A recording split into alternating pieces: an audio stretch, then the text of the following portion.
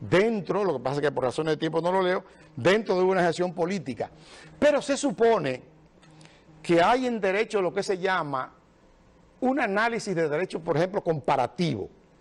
Y por analogía, se supone que si usted fue candidato por organización política y precandidato por esa misma organización política, el sentido que tenía el legislador era que usted no pudiese ser candidato por otra organización política, sin importar que usted ganara o perdiera. Ese fue el objetivo primordial de esa ley, no lo digo yo, lo dice Juan Temisto Clemontaje, el presidente interior de su partido, que él estaba ahí con los que establecieron cuando esa ley estaba en vigencia, en discusión, y los miembros del Comité Central, que lo voy a poner más adelante, el el espíritu de la ley era evitar el transfugismo.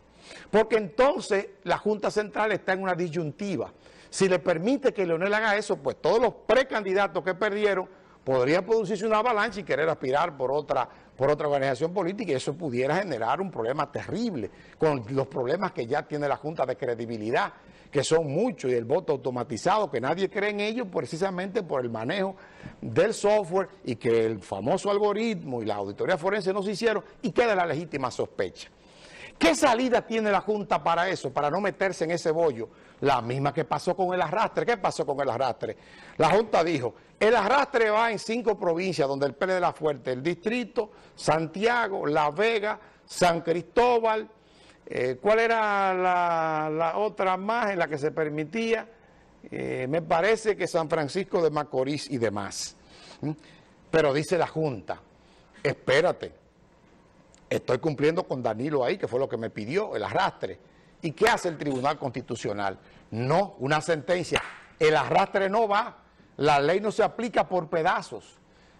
La ley se aplica de manera igualitaria, erga hombre, oponible a todo el mundo. Se le impone a todo el mundo, para que me entiendan, y no por pedazos. Es la interpretación jurídica que tú tienes. Entonces, por razonamiento contrario, Leonel Fernández no podría ser candidato por otro partido, porque estaría permitiendo que el transfugismo esté intacto y ellos tomarían ese, vamos a llamarlo así, esa trampa de, de la ley, de algunas lagunas, que por eso esa ley fue después de 15, 18 años zancochada, porque querían armar estos procesos y dejar, y por eso los tantos reglamentos, pero de acuerdo a esa interpretación y al espíritu original, él no podría. El escape que ellos buscan es ese. Entonces, ¿qué hace la Junta? Le va a dejar el problema al Tribunal Constitucional. Ustedes lo verán. ¿Por qué? Porque la Junta dijo, espérate, nosotros tenemos, ya pasaron los plazos del 25 al 27, eh, tenían que declarar aquellos que hicieron su reserva y sus candidatos. Tienen una situación de un limbo jurídico, el PRD de Miguel Vargas Maldonado, que no dijo cuál era su candidato, que porque él no quisieron darle lo que él estaba pidiendo y quiso esperarse, pero entonces si él dejó pasar la fecha que estableció de hasta ahora que termine el 27 de este mes, entonces él está en el limbo, no podría eh, llevar a nadie como candidato y tendría que ser él a lo mejor, de acuerdo. En eso mismo cae, no sé cómo se llama, el de Amable Aristi Castro, Palo, Partido Reformista, Liberal, qué sé yo cuánto, y otro cae también en ese limbo que no lo eligieron. Entonces, ¿qué dice la Junta? No, lo presidencial nosotros tenemos hasta marzo. ¿Qué quiere la Junta hacer con eso? Tardar lo más que pueda hasta marzo para que la decisión la tome el Tribunal Constitucional. Y a partir de ahí se quita eso, un acto de irresponsabilidad por desabiduría, de evadir el problema ya que tiene de credibilidad y dejarle al Tribunal Constitucional que decida. Milton Rey Guevara es un hombre con muchas luces, aunque ha demostrado también ciertas debilidades.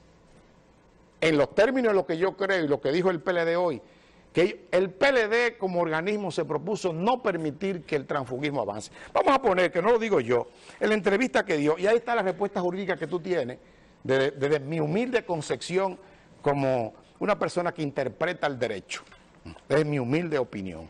Lo que dice Juan Temisto Cles Montaz de este asuntito,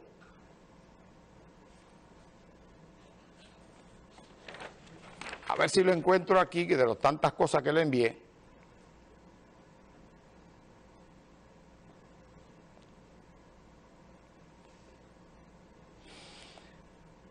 Mira, lo voy a poner aquí porque los, los videos que me enviaron tienen un sentido político y venenoso y yo no me voy a meter en ese pleito ahí de nadie, ¿eh?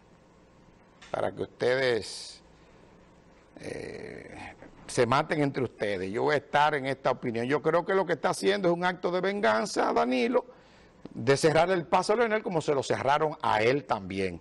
Es mi humilde opinión. Y voy a buscar aquí de los tantos videos eh, que, que pude pasar, a ver si se lo encuentro, esa entrevista que dio hoy el presidente de interino de ese partido, eh, pues Temístocles Montaz. bueno, no, lo que pasa es que el que está ahí eh, es un video difamatorio, injurioso, yo no voy a meterme en campaña sucia.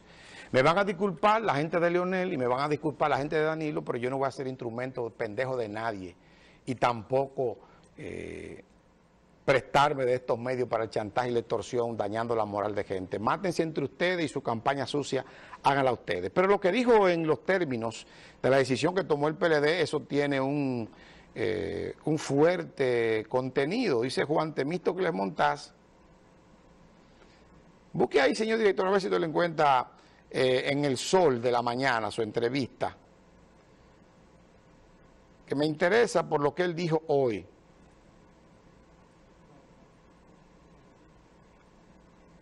Entrevista de Juan Temístocles Montá en Sol FM.